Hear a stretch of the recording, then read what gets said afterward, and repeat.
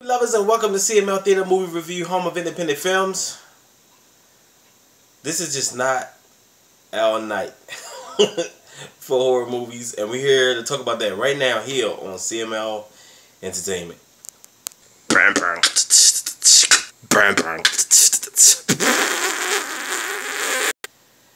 The Scathing. Oh my god, man. The movie was written and directed by Joseph Mazzaferro. What did I think about this film? okay, the movie starts off with the girl Amanda. Okay, she's talking to her mom, and she's she wants to go out to a party with her with her friends, and the mother tells her no. She's like, "No, you're not going." The father agree. No, she's not going. So she gets into an argument with her mom, and then she ends up stomping up the steps. Okay, for one, I would have whooped her ass because you're not gonna do that in my house. That's one.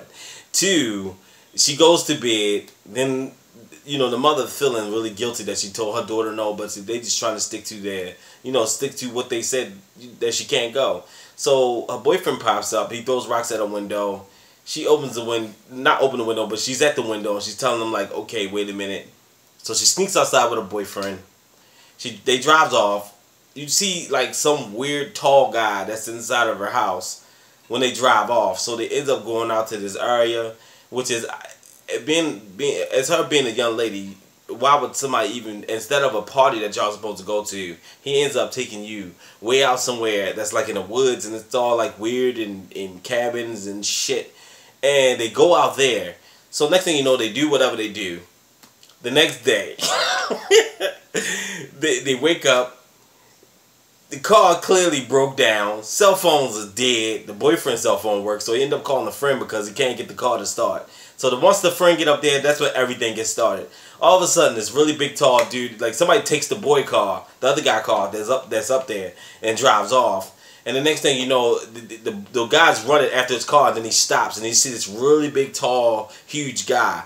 So he hits him with like this awesome weapon, and that, that's what I did like about the movie. I love this weapon that he had, where he can stick his hands, his fingers inside of it, and it got all these like weird ass tactical blades like hanging up, and he hits him in the chest, then takes um booty shorts and slam her head into, into the car, and the next thing you know like the friends just get knocked off one by one. What I did not understand was I didn't understand why when you're trapped in a car. Okay, I understand the dynamic of y'all being trapped in the car, but why no one I didn't get away? I didn't get that, and I definitely didn't like the way the story was patterned out. Just did not make any sense to why what was happening. Then one minute the girl would get away and she'll get in someone's car, but then she'll end up back inside the same car. And it happened like what twice mm-hmm. throughout the movie. So I, I didn't understand it, and the ending was like the ending didn't make no sense because I didn't understand how the fuck was it even her when the girl clearly had the same fucking clothes on. She didn't have no blood on her shirt. She didn't have no blood on her pants. She had no blood on her shoes, so it was nowhere indicating where she did the murder. You know what? I'm just fucking. I'm. This just not our night. No. This is. Let's give this movie a rating, shall we? I give this movie two thumbs down and a big ass disappointment. Oh no, not again. Listen, right? I could understand. Listen, a movie always makes sense if your story makes sense.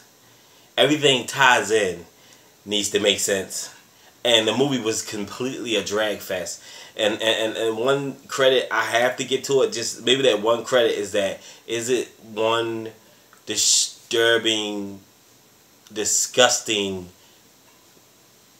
thing I could not take when this guy started eating on the brain.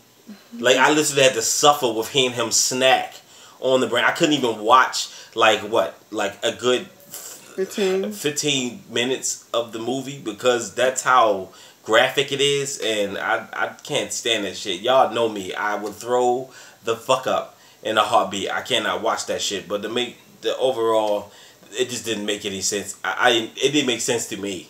I didn't understand that. And like I said, when I watch movies, I thoroughly watch a movie. I don't just pinpoint and pick out certain things, but if they all don't add up, you know, add up and the elements of the movie just doesn't pattern, I can't be fair. I, I have to just be honest and that's what I am. Being honest, I did not enjoy this film.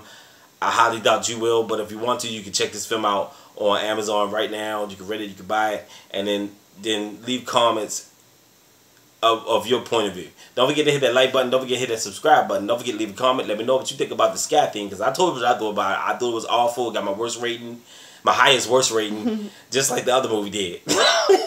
and I'm done for the night. I'm done until the next cycle. until all my movie lovers, I love you.